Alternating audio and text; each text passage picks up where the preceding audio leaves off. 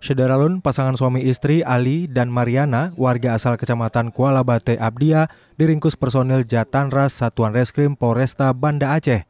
Setelah keduanya terekam kamera CCTV saat melancarkan aksinya mencuri handphone di sejumlah konter di wilayah hukum Polresta Banda Aceh. Keduanya diringkus di rumah kontrakannya di Gampung Mire Pangoraya, Kecamatan Ulekaring, Banda Aceh.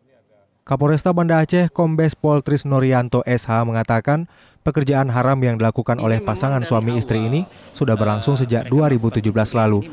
Bahkan beberapa unit HP yang sudah mereka gondol dan dijual kepada para penadah sejauh ini masih ditelusuri dan didalami. Dia tidak tidak selalu berdua, kadang-kadang sendirian.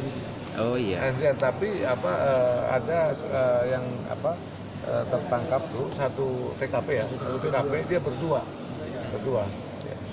Berarti Tapi mas, dia hanya dia melakukan sendiri.